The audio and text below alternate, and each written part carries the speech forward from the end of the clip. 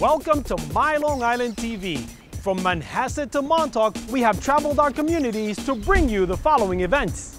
I'm your host, Waldo Cabrera. My Long Island TV starts now.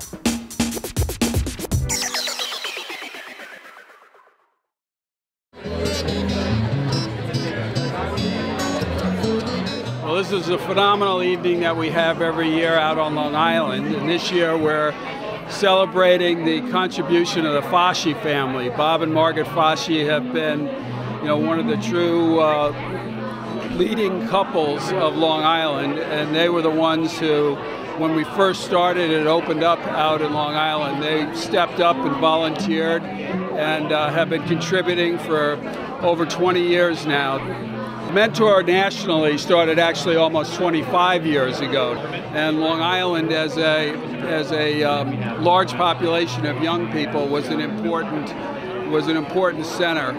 Your support tonight helps us help tens of thousands of kids. In fact, in the last 20 years, the Mentoring Partnership of Long Island has helped over 80,000 kids, and that is just pretty remarkable. A night like tonight represents the commitment of an entire population of people here on Long Island who truly want to see great things happen for young people. What makes the mentoring partnership so special, especially over the last 20 years, is that we empower the people who want to do the work.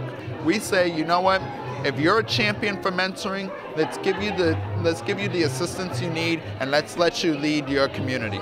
They have great leadership and management, and the people that they've entrusted to organize all these activities, getting the right kids with the right mentors, and uh, promoting the great work that they do. I think really that's the cornerstone of this uh, organization is the people in charge. One of the first suits I ever owned was made for me by Brooks Brothers. As proof, I offer you this 1971 photo of yours truly in my dress uniform at LaSalle Military Academy.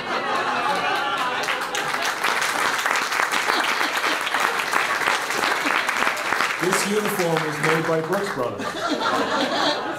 And I want to give it to Joe and to Brooks Brothers and present it to him as thanks for clothing so many thousands of cadets and service members over the decades. You know, Brooks Brothers has always been about generations. We're, we are around since 1818, and clearly our heritage has been passed from generation to generation.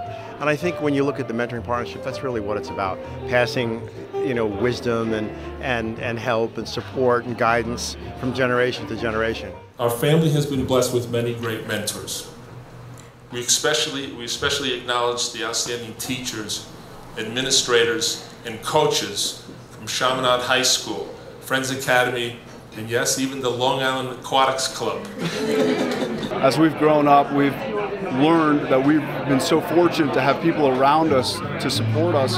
And when you, when you, when you realize that you've been giving something so much special, uh, it's a very natural reaction. I want to share that. I want to be able to give that back to other people, and the mentoring partnership does that very well. It's just so nice. I mean, they, um, you know, were here when the organization started, and so and, you know, we've come to this event so many times, and it's such a great event. So it's really nice and very humbling to be honored ourselves.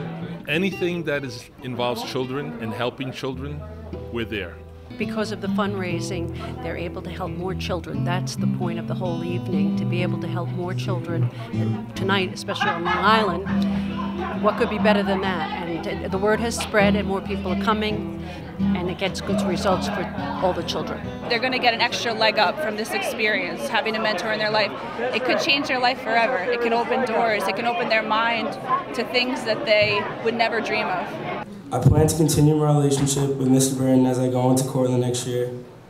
We will always have these memories formed over the next 10 years. And um, if Mr. Burton ever refers to beating me in a one-on-one -on -one in basketball, be sure to remind him that the last time he beat me, he was taller than me.